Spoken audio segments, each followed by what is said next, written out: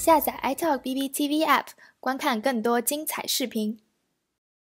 就在刚刚过去的这个周五，有网友发帖吐槽，自己乘坐的美国达美航空 DL 二八七号航班在飞往上海的途中，于俄罗斯边界上空突然掉头返航，把本该回国的大批中国乘客又带回了美国。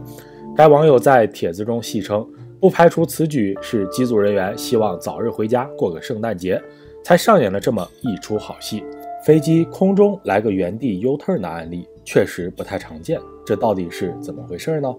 根据中国驻美大使馆的规定，DL 二八七是美国第三大航空公司达美航空两条符合五个一规定的直飞航线中的一条，由西雅图飞往上海，每周二、周四各一班。这趟中途返航的航班原计划于美国当地时间十二月二十一号晚二十二点五十九分从美国西雅图塔克马国际机场起飞。经停韩国仁川机场，于十二月二十三日早晨六点十分抵达上海浦东机场。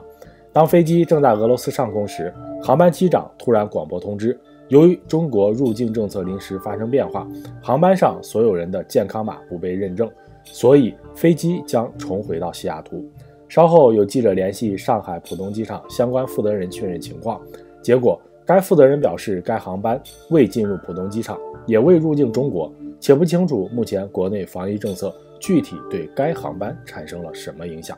据了解，飞机上有许多美国留学的大学毕业生，他们的签证已经过期，加上很多人的防疫健康码也面临过期。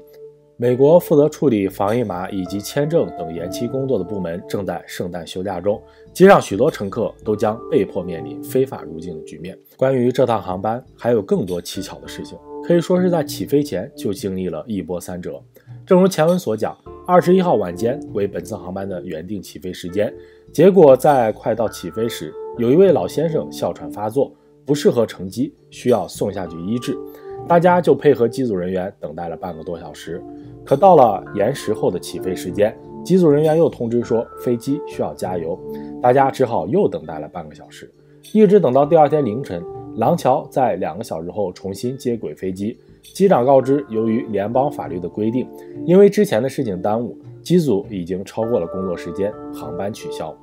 第三次接到机组人员通知，航班起飞时间需要再次延后，改为当地时间二十二号的十五点。稍后，机组人员便请大家下飞机，大家都下了飞机，感觉有点莫名其妙。凌晨一点被告知安排到酒店入住之后，看了看航班信息。起飞时间改到了晚上八点左右，赶往酒店的大巴上，大家又收到了航班信息，起飞时间改到了晚上十点多。到了第二天晚上的十点多，此时 DL 二八七更名为了 DL 九八九一，按计划二十二点起飞，二十四号凌晨三点二十二分在上海浦东降落。这次的飞行路线基本上要飞过白令海峡、俄罗斯，经停韩国，再到上海浦东。结果到了起飞时间，大家又接到了新通知，飞经俄罗斯的材料达美航空还没有办理好，让大家再等等。大家又等候了半个多小时，试想，一天时间，航班沿途的申请还没有办理好，这可是全美第三大航空公司呀！难道所有工作人员都提前回家过节去了吗？最终在二十二号晚十一点，飞机终于起飞，然后就发生了半路掉头的一幕。在飞行了约六小时后。很多正在睡梦中的乘客被喇叭吵醒，被通知返航。更奇怪的是，返航只用了三个半小时。要知道，机长通知大家要返航时，可是已经起飞了六个多小时呀。达美航空对于飞机折返事件一直没有给出更多的解释，直到过完了圣诞长周末，一份书面说明才通过电子邮件姗姗来迟。邮件指出，达美航空 DL 二八七航班。在由西雅图飞往上海途中返航，原因是得知了上海浦东国际机场在本航班执行过程中实施新要求，客机在上海地面停留时间因而将延长，超出达美航空所能预留的时间。稍后，立刻有中国媒体向上海机场集团和中国民航局进行求证，民航局方面回应称，目前没有什么特别的动作。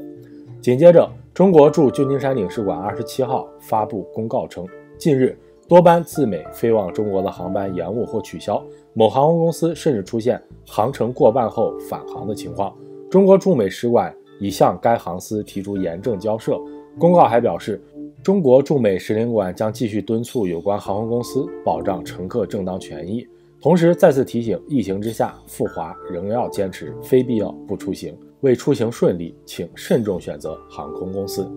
由此看来，达美航空很有可能是内部协调出了问题，却直接甩锅给了上海浦东机场。目前，该架航班的后续航班皆被取消，除了被原机带回的几百名中国旅客，还有另外成百上千的归国人将面临不知到何时的滞留。